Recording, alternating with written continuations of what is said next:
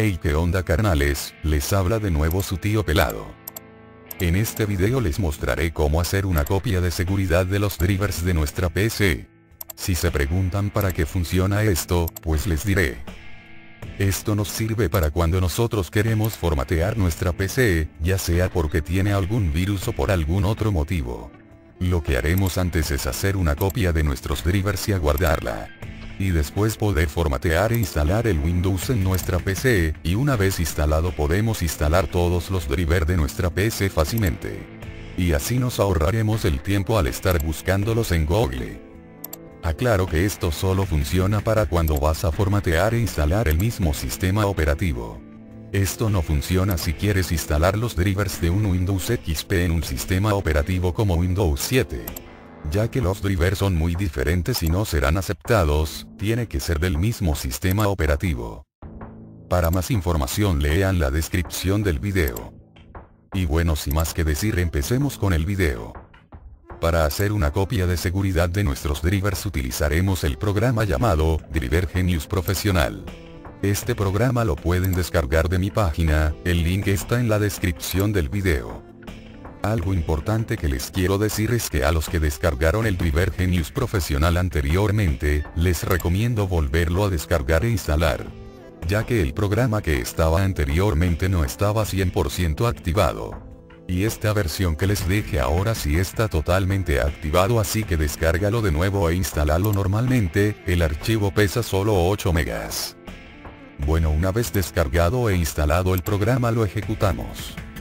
En el video pasado les mostré a cómo actualizar los drivers de nuestra PC con este programa, si no viste el video y te interesa te dejaré el link en la descripción.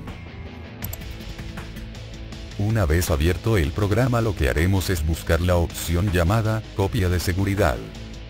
Lo que haremos es darle clic y después comenzar a analizar todos los drivers que tenemos en nuestra PC, aquí solo esperemos a que termine de analizar.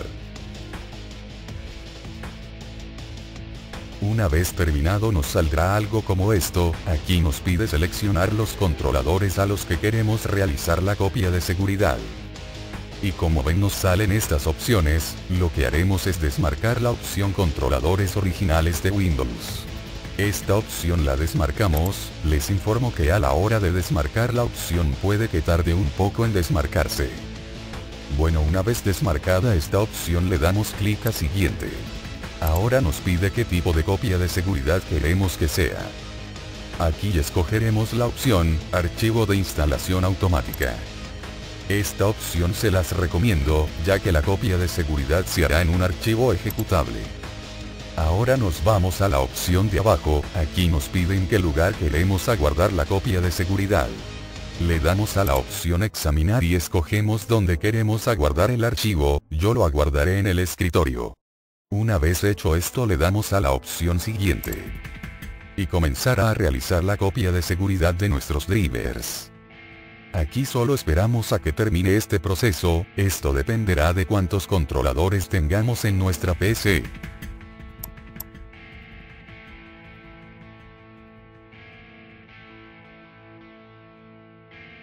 Y bueno una vez terminado el proceso, el programa nos dice que la copia de seguridad se realizó con éxito. Y nos da la ubicación en donde se aguardó el archivo. Ya por último le damos a finalizar. Y listo carnales ya tendremos el instalador de nuestra copia de drivers. Ahora sí ya pueden formatear su PC, y sin la preocupación de estar buscando los drivers correctos, solo basta con pasar este instalador y ejecutarlo y darle a la opción, iniciar restauración y listo. Carnales como ya les había mencionado esto solo funciona si vas a instalar el mismo sistema operativo, no funciona si cambias de sistema y quieres instalar los mismos drivers. Ya que no son los mismos, y no te van a funcionar. Algo importante que les quiero decir, es que a la hora de instalar su copia de seguridad les aparecerá una ventana como esta que nos dice que Windows no puede comprobar el editor de este controlador. Si les aparece esta ventana le dan en instalar este controlador de todas formas. No se preocupen no pasará nada malo. Bueno carnales espero y me hayan entendido este video, si tienen preguntas mándenme un mensaje personal y con gusto les ayudo.